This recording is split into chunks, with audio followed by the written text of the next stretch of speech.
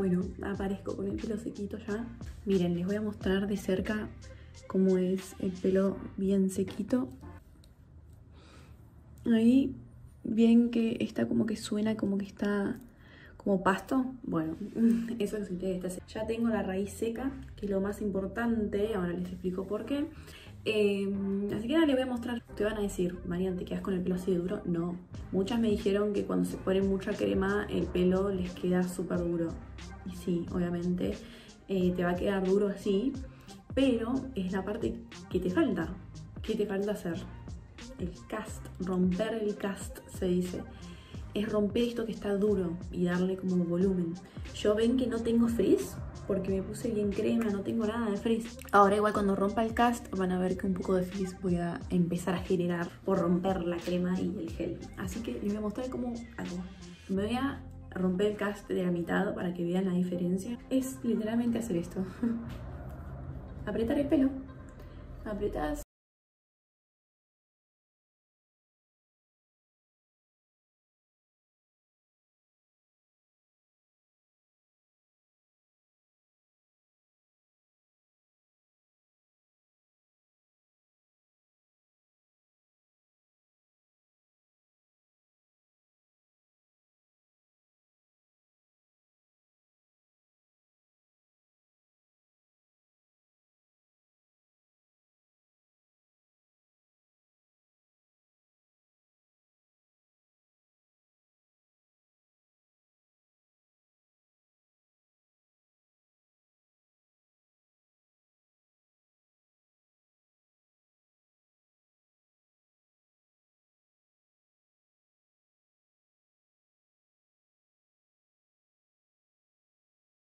me encanta ver siempre esta diferencia. o sea, del secado, de lo mojado seco a esto. O sea, y ni siquiera terminé. Me encanta, me encanta ver el cambio. Lo que sí tengo que acomodarme el flequi. Ahora les muestro qué onda, cómo hago. Porque es importante tener la raíz seca. Porque si vos querés volumen en tu pelo, no lo querés chato, esto es un hueso. De nuevo, vas a agarrar tus manos sin anillos, por favor, porque si no te vas a enganchar todo el pelo.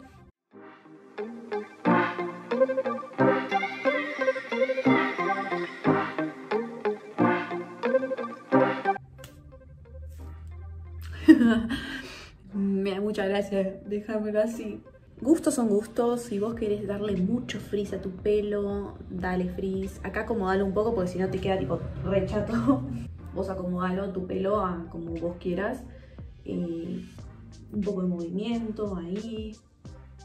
No sé si se ve la parte de atrás. Ven ahí un poco atrás, le tienen que dar también volumen. Acomodar los pelos, las direcciones, aprovechen ahora cuando tienen el pelo seco. Y bueno, en flequillo les doy algunas recomendaciones. Eh, si pueden en el secado déjense el flequillo para adelante porque nada, va a ser como, va a tener más dirección para adelante, pero bueno, si querés correrte un costado porque el posto te molesta mucho, correrlo, no pasa nada. Si hay pelos eh, o rulos, si tenés rulos de bebé, como yo le digo a los míos, yo tengo rulo de bebé porque es muy suavecito y muy gordito, tipo risitos de oro, bueno, sepáralos.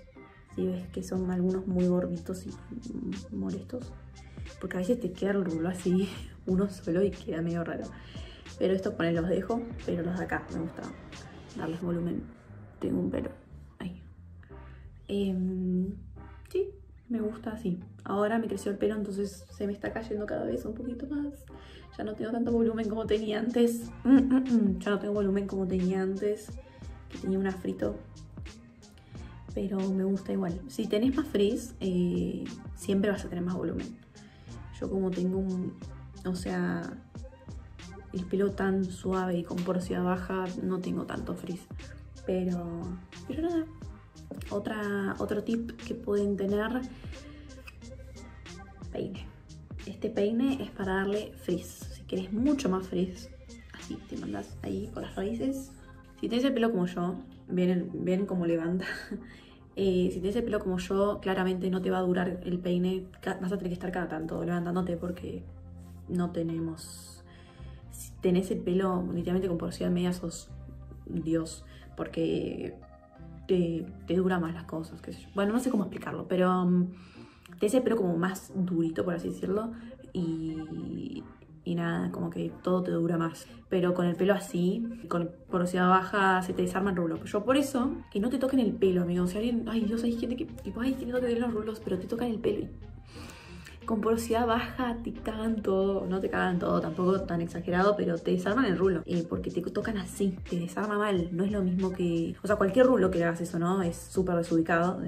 Yo antes tenía mucho más el pelo em, corto todavía, porque bueno, yo ya saben, los que me siguen en Instagram, saben que yo me alisaba mucho el pelo, me hice muchos alisados eh, y lo que tiene el alisado es que no vuelve tu pelo a hacer lo mismo, o sea, ya literalmente el alisado con formol te destruye el pelo. Eh, la planchita también, el calor te hace bastante mal, pero puede volver mucho más que el formol el formol no vuelve. O sea, el pelo con formol no vuelve a hacer rulo eh, o a hacer onda, lo que sea. Así que nada, eh, cortate el pelo, porque yo me tuve que cortar el pelo, más o menos casi me pelo. Pero sí, me tuve que cortar mucho más que lo que tengo ahora. Y lo que a mí me hicieron el corte, el flequillo me lo cortaron más de acá. Entonces tenía mucho más volumen. A mí ahora, me, como quiero dejarme el pelo largo, eh, me corto muy poquito el flequillo pero más de acá, de acá que sale el rulo. Así no me dejo crecer más y cuando ya lo tenga más largo me dejo todo crecer. Pero sí, chicas y chicos, si se hicieron alisado algo, su pelo no va a volver a hacer lo mismo. Eh, va a estar maltratado mal. No esperen tener un buen pelo. Ya van, a ver. Si me seguían en Instagram desde antes van a ver la transición que yo tuve.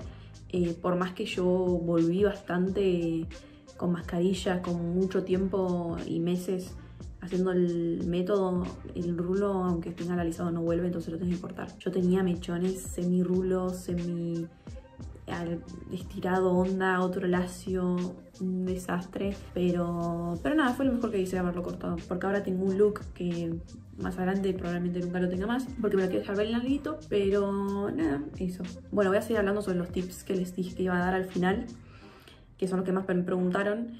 Pelo lacio qué onda, se puede hacer el método o no se puede hacer el método, obviamente que lo pueden hacer, eh, pero no tanto lo de las mascarillas y el scrunch. Tipo el scrunch ni lo tenés que hacer si tenés el pelo lacio. Pelo lacio tenés que, lo mismo, o sea, usar o low o co-wash, eh, dependiendo tu pelo, pero no vas a hacer lo de la rutina que tiene tanto los rulos, que es el scrunch y toda esa cosa. Solo vas a hacer lo del lavado, por así decirlo. Y después las chicas o chicos con ondas, métanse en el tema del método también, quieren potenciar sus ondas.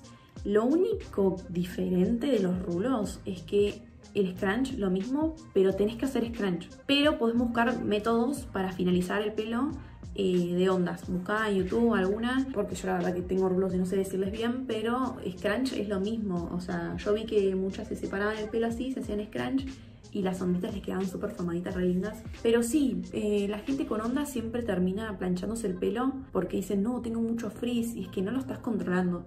Pero bueno, busca obviamente eh, usar cremas, controlar el frizz y formarlo, darle finalización a tu pelo, mm, darle algo darle volumen a tu pelo, finalizarlo y todas esas cosas que, que nada, si no lo haces, obviamente vas a terminar haciendo la planchita. Yo ¿Por qué me planchaba el pelo? Porque no sabía controlar mis rulos y la gente dice, ay, estás re despeinada o estás esto y es como... No, tengo rulos, solo que, bueno, nadie está acostumbrado en el mundo de los rulos a saber qué hacer. Y por suerte ahora apareció un montón de gente que se especializa en rulos. O sea, chicos, imagínense que mucha gente tiene rulos, pero nunca nadie se los deja porque nunca nadie sabe cómo controlarlos. Bueno, en pasado, ¿no? Porque nadie sabía. Y ahora están apareciendo un montón de gente que se especializa en eso, eh, peluqueros que solo de rulos, y eso la verdad que te llena el alma, alguien que tiene rulos y se planchó toda la vida, porque vos vas a un peluquero y te dicen tipo, ah, sí, te corto recto los rulos, te termina quedando un desastre, o, te ponen cosas que te hacen caca al pelo, y ahora es como que vas y los rulos se cortan en seco, amigo, o sea, y a mí nunca me dijeron eso y ahora se están viendo, visibilizando más. Los rulos, me encanta. Así que nada, eso. Qué suerte, la verdad, ¿no? Qué lindo poder ver que cada vez somos más las que volvemos a nuestro pelo natural y a lo que uno tiene, ¿no? Otra pregunta que me hicieron mucho, ¿cómo empezar? Yo te recomiendo que empieces viendo cuánta plata podés eh, gastar. Em, no es mucho, no gastas mucha plata. Te lo digo así de corazón. Hace poco fui a acompañar a mi prima a comprar mascarillas porque la metí en el método.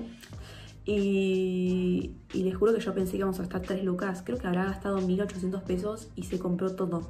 O sea, se compró las tres mascarillas y el shampoo. Y literalmente le salió menos de 2000 pesos. Y yo pensé que iba a salir muchísimo más. Le dije, no, no, no te va a alcanzar. No, tienes que buscar precio. Yo en mis destacadas de Instagram les dejo un montón de mascarillas pero ustedes siempre vayan, por ejemplo, en las historias destacadas de Rich Coa, tiene un montón de mascarillas que pueden comprar que no son las mismas que uso yo, ¿entienden? Pero bueno, ponenle la de nutrición, las de Garnier. Eh, la de Garnier lo bueno que tienen es que tienen de nutrición, de hidratación, tienen de todo. Eh, creo que reconstrucción no tienen, pero te salen entre 450 y 500 pesos, dependiendo de donde lo compres. Pero está la mascarilla verde que les mostré de nutrición que está a 350 pesos. O sea, tienen que buscar. Eh, no es una inversión al pedo, no es una inversión que vos vas a gastar en un mes. Tengo el shampoo hace, creo que, si no me equivoco, 8 meses y las mascarillas me duran entre 3-4 meses, solo porque las comparto con mi hermana, capaz me duran menos. Pero les juro que no, no es, no es un gastadero de plata, son dos lucas que vas a gastar por cada tanto, pero tenés que saber usarlos, tenés que saber usarlos. Porque si vos obviamente usás de más, porque decís tipo, ay no, si me pongo más, más lindo va a estar, no, nada que ver. Con un poquito y cada tanto vas a ir agarrándole la mano. Pero no, no te zarpes de producto ni nada porque no hace falta. Nada, el tema ese de presupuesto es lo primero y bueno, de ahí informarte, ver videos como el mío, ver videos de otras chicas con otros pelos parecidos al mío, pero capaz te tiran un tip que a mí no me sirve, pero a ella sí, y a vos también te sirve, y el mío no te sirvió, entonces mirá muchos videos de gente con rulos que esté en método curly, no otro, porque si no está método curly es porque capaz usa algún shampoo con sulfatos y todo eso y no es... no. Después lo otro que les recomiendo es que eh, vean cómo es su pelo, qué porosidad tienen, qué forma tiene su rulo. Todos los rulos son un mundo, gente. Cada cabeza es un mundo. Y empezar, empezar a poquito, si te equivocaste no pasa nada. Eh, si, uy, compraste un shampoo que tenía sulfato, bueno, terminalo, el próximo mes ya sabes que ese no lo tenés que comprar. Eh, pero eso, o sea, prueben, prueben, no sé, lean, jueguen con su pelo, si les gusta con más frizz, más movido, no tan movido, jueguen. Dormir. Me preguntaron mucho. Marian, duermo, al otro día me levanto, soy Maradona en el 86. Sí, Sí, yo también soy Maradona en el 86. No pasa nada. ¿Hay formas de controlarlo? Sí. Está la cofia, que es como el gorrito que no lo traje. Está abajo. Em, no importa. Es una cofia, que les voy a dejar una foto acá. Eh, de tela de seda, que vos te lo pones, te lo enganchas con unos clips y em, te vas a dormir. Y, y al otro día te levantas con menos frizz. Pero a mí lo que me pasa con la cofia es como tengo flequillo, es que el flequillo me queda, o sea, Mm, no me gusta mucho cómo me queda. Y empecé a dormir sin la cofia y la verdad que el pelo no me queda tan mal. No me molesta así medio desarmado. Obviamente no me queda así de perfecto como este rulo, pero al otro día sí que medio... Pero no me molesta. Pero obviamente si voy a salir a una fiesta o algo, eh, me gusta que esté así bien formado. Otra cosa que les puedo recomendar es, en vez de la tela de seda en una cofia, en, en la funda del almohadón. Por ejemplo, este es tu almohadón. Bueno, en vez de esta tela que te hace mucho frizz en el pelo, le vas a poner eh, la tela de seda. Y, listo, ya dormís ahí arriba y tenés menos frizz.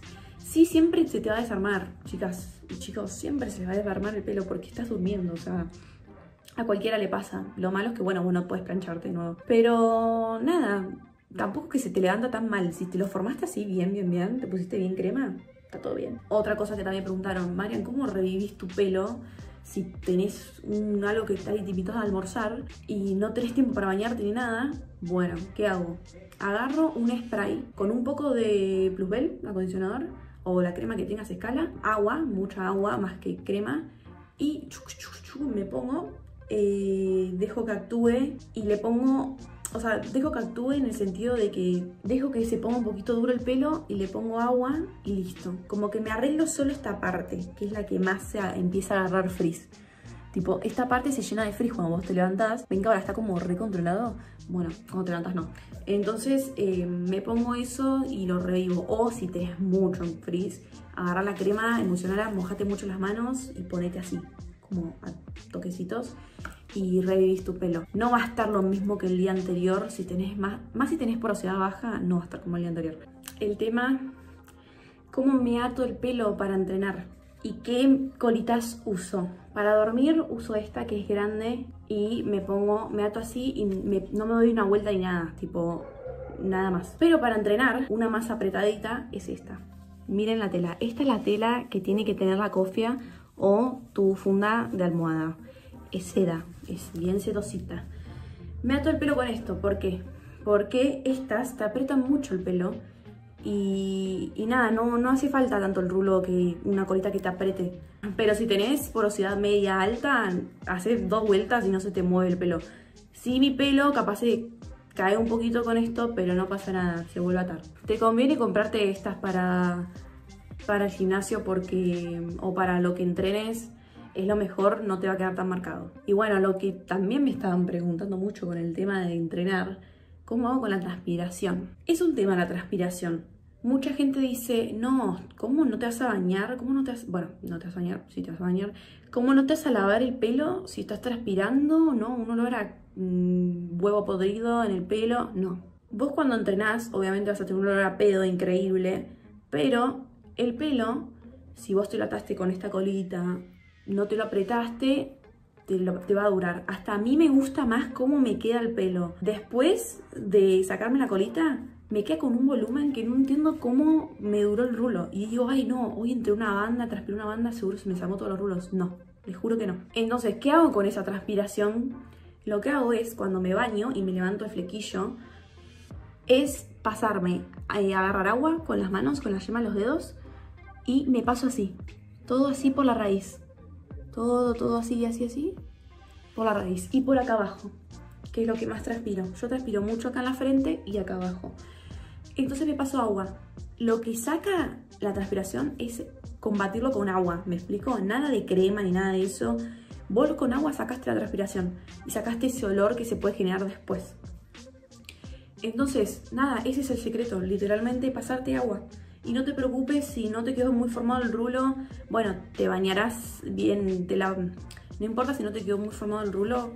Si vos querés que te quede así de nuevo, obviamente tenés un evento a la noche, te bañás y te lavas el pelo. Pero si no, listo. Cuando está graso, cuando sentís picazón en el pelo, ahí es cuando tenés que lavar el pelo. Si no, no. Si no, no. Si no ves que no, no hay olor, no hay nada, está el pelo limpio, el cuero cabelludo, perdón, el pelo limpio no, el cuero cabelludo limpio. No hace falta que algo que lo, que lo limpie de nuevo, ¿entienden? ¿Entienden? Entonces, eh, nada, cuando ven eso, cuando sienten, ustedes van a conocer su pelo.